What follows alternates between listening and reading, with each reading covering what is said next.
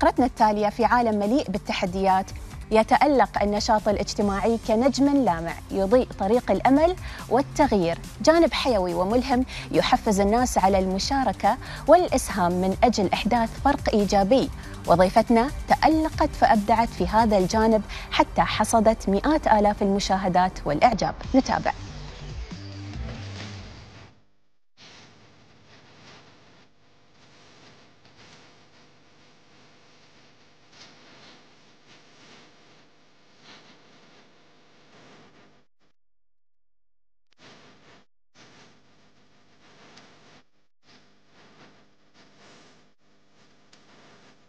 أجواء الخير أجواء العطاء. شكر موصول لمتطوعي الهلال الأحمر الإماراتي من مركز دبي في مدينة حتى. كما نرى متطوعين أجواء الصيام أجواء السعادة. أستاذ خالد البدواوي مشرف المجموعة في حتى وأيضا وجود أم سعيد الله يحفظها أستاذ سالم مفتاح ومجموعة من المتطوعين يوزعون كأس الصيام على مرتادي الطريق.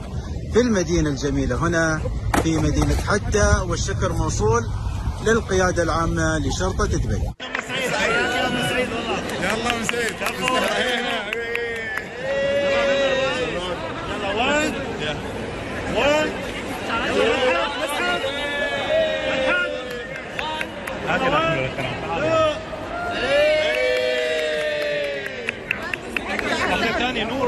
واحدة ثانية ثانية يلا عندك. طلع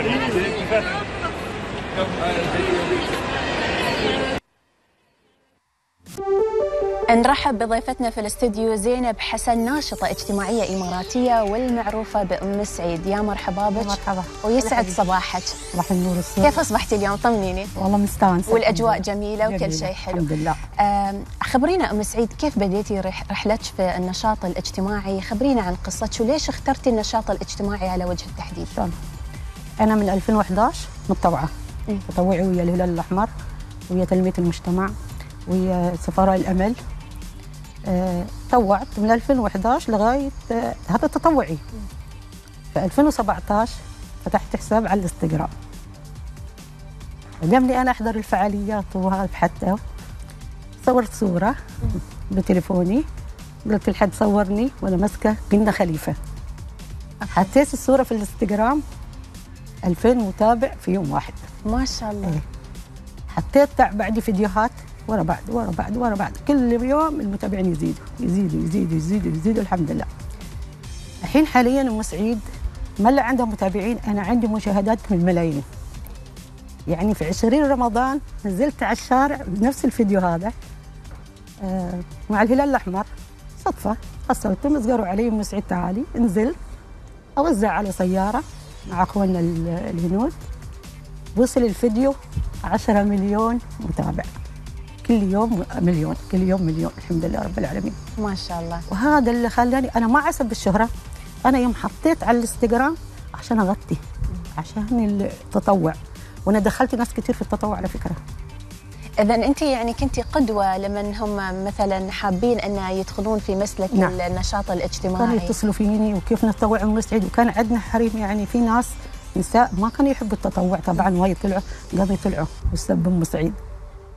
كل مكان كنت أروح أشيل هاي وهاي وهاي حتى الأجيال الحمد لله ما شاء الله يعني كلهم يتابعوني أنا ما يتابعوني الكبار أنا يتابعوني حتى الصغار زين شو ال- ال- ال- الإحساس اللي حسيتي فيه يوم آه لاقيتي هذا القبول والصدى الواسع كنت على. مواقع التواصل. الاجتماعي وهل كنت متوقعة هذا الشيء؟ أنا كنت متوقعة لأني أنا كان لي شعبية قبل ما أطلع على التواصل الاجتماعي كان لي شعبية كان الناس يحبوني لما أحضر فعاليات أحضر أغطي أسوي يعني كانوا يحبوني الناس. بس ما توقعت إني أنا بطلع بهالطريقه بالصراحه يعني توقعت عادية واحدة من حال الناس. يعني حال أي مشهورة عادي يعني ما في شيء. زين آه كيف آه يعني قررتي إنه يكون عندك مسلك النشاط الاجتماعي؟ يعني انت قررتي تفتحين حساب في ال social media خاص فقط في النشاط الاجتماعي، خبرينا عن آه الاوجه المتعددة للنشاط الاجتماعي اليوم في المجتمع الإماراتي. شوفي أنا يوم فتحت الحساب كتبت أول كلمة أم سعيد متطوعة لله ثم الوطن. هاي كلمتي. وأنا ما حد يعرفني كلمة زينب. زينب إلا الحين بس حاليا الفيسبوك كتب لي زينب على الإنستغرام. نعم. أنا ما حطيت زينب أنا حطيت أم سعيد. والحمد لله. يعني ضربت خطوط من أبو ظبي للشرق لأم القوين للإمارات السبعه كذا. أم سعيد لها بصمة. والنعم فيك يا أم سعيد. الحمد لله يعني أنا طلع اجيال من وراي. يعني في اجيال طلع من ورا أم سعيد. الحمد لله رب هذا شرف لي أنا. الله يكثر من أمثالك إن شاء الله يا رب. خبرينا أم سعيد اليوم آه، للنساء اللي حابين يحذون حذوك اليوم. في مسلك النشاط الاجتماعي. شو الخطوات من وين يبدون؟ شو يسوون؟ شوفي الحين أنا يوم دخلت أنا أول ما دخلت في الانستغرام تابعت رجال كان متطوع. شفت شو يسوي؟ تعلمت منه. الحين أنا لما أدخل أنت تدخلي حساب المح... أهم شيء المحتوى يكون إيجابي. ما بسلبي محتواش يكون إيجابي. المحتوى يكون عن الدولة. شو طلع عن دولتك الإمارات غنية عن التعريف بس أم سعيد العالم كلها تتابعها. لما أنا أكون في انستغرامي بالملايين يتابعوا أم سعيد مشاهدات العالم كيف تشوف أم سعيد؟ حطي شيء إيجابي على دولتك. صحيح. تكلمي عن الدولة. لا تحطي أشياء تافهة. أنا يوم اتابع أتابع الأشياء اللي يخليش تستانسي إن أنا أحب أتابع الفلا هذه حسابك وحسابي الثاني وحسابي الثالث. أحب أتابعهم صح ولا لا؟ صحيح. بس الشيء الاجابه هو اللي خل... ونتعلم من بعض. كل واحد يتعلم من الثانية. زين حابة بعد أعرف منك لل- للأطفال يمكن وال... والشباب اللي هم في مقتبل العمر كيف نحن نقدر نعزز عندهم هذا الجانب؟ جانب المشاركة والتطوع آه، في عدة آه، نشاطات اجتماعية. اليوم يعني هذا آه، مجال جدا واسع وله عدة أوجه في الدولة. فكيف نحن ممكن نغرس فيهم هالشيء ونعززه فيهم؟ بال يعني بيشوفوا حسابك انت وأنا بسير وبيشوفوا فلانة و... لما تكون هي حرمة كبيرة بحشمتها وكرامتها وتتصور وتغطي وهذا بتيجي البنت تتعلم مني أنا. أنا جتني بنية اسمها سارة عمرها 12 سنة. قالت لي خلو ام سعيد قلت لها هلا هلا حبيبتي سارة. قالت لي أنا تعلمت منك التطوع. أنا تعلمت. إذا أنت تشوفين أن لمواقع التواصل الاجتماعي هو أثر جدا أكيد، كبير أكيد. في التأثير على هذه. الفئة من الشباب والنشء في نعم. غرس يمكن القيم الحين. والعادات نعم. ال- وبعدين والتقاليد لاحظي ما شاء الله كل بيت من الأطفال من ست سنوات لفوق كلهم متطوعين ما شاء الله صحيح ما شاء الله آخر شيء حابة أسألك عنه اليوم شو هو رسالتك أو شو هي رسالتك اللي حابة أنك توصلينها من خلال حسابك والله رسالتي أنا ادامني ام سعيد أقدر أروح وأي واسير بعدي بعدي بعدي بطلع فوق إن شاء الله. وهذا دين على ام سعيد دين للدولة دين لبلادي دين لشيوخي. ما قصروا فينا. كنا نقف ويا شيوخنا.